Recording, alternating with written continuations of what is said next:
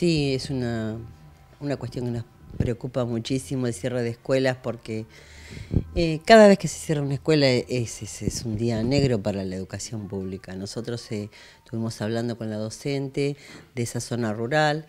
Confluyen varios problemas.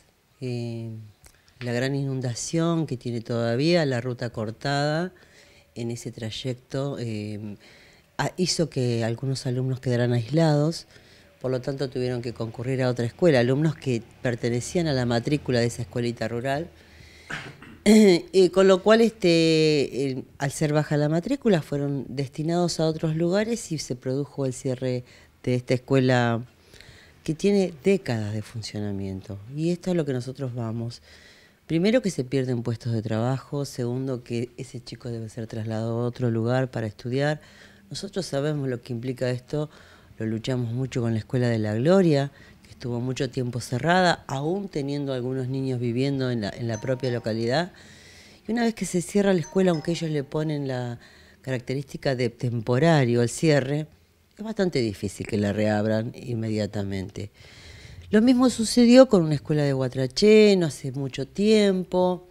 Eh, con la escuela, que no sé qué tienen pensado hacer con la escuela de, la zona rural de Arata, donde tienen una directora concursada, y también con la matrícula, que esto obedece a características, si se quieren, socioeconómicas, eh, la falta de diversidad a veces económica que hay en La Pampa, eh, la falta de caminos este, en buen estado, eh, el éxodo de la población hacia lugares con, con mayor este, capacidad de trabajo, productividad hablan de que nuestra provincia tiene muchos problemas por resolver.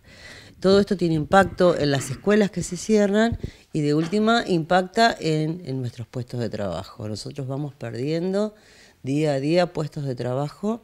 Esta señora que estaba, esta docente en la escuela de la zona rural de Castex, tiene un cargo titular en, en la escuela de Castex, tenía una suplente, ahora al cerrarse la escuela, imagínense que es un puesto menos de trabajo y esto es lo que nosotros venimos diciendo, ni un puesto menos, ni una escuela pública cerrada.